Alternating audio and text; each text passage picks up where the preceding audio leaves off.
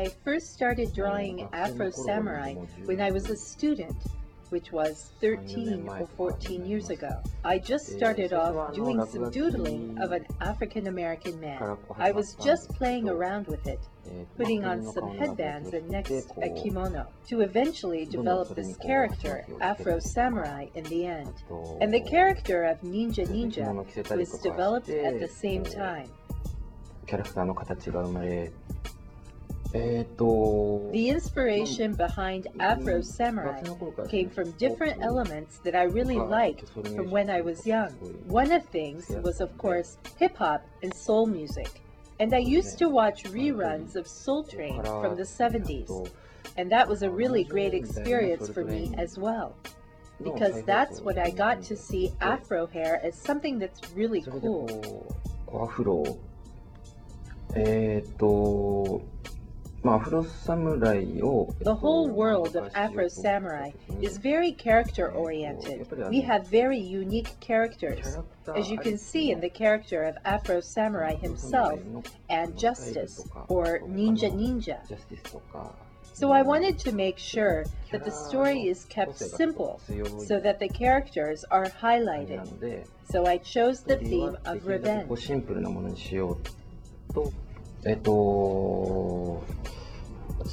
最初に書いた The very first manga came out in a self-published magazine, and after that, my friend wanted to make some action figures based on the character. So he picked up Afro Samurai and made some action figures. They came out only in limited numbers. 作ってそこであのあの So after this action figure was created, the producer for the animation studio, Gonzo, happened to find it. He saw it and came up with uh, idea of making the animated series for Afro Samurai. It took about three years in development. And during those three years, we made a trailer for pitching. And this trailer happened to fall into Samuel L. Jackson's hands. And now the video game is coming out, and the franchise is still growing. So I'm very surprised, but at the same time, very flattered.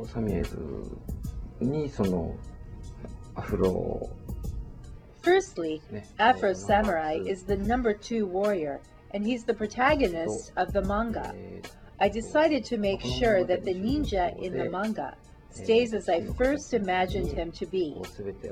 He's quite different from what you may have been familiar with, so that's something for the viewers to look forward to in the manga. As for Justice, or Number One, he is the ultimate enemy of Afro, and I wanted to make sure he is as unique as Afro, so he will not be overwhelmed by Afro's uniqueness. I could not think of anything else but a Western gunman as the ultimate enemy of Afro. Thank you all for your support with regard to Afro Samurai. Now a game and comics are being released, so the whole world of Afro Samurai is only going to get bigger and bigger. So please look forward to it.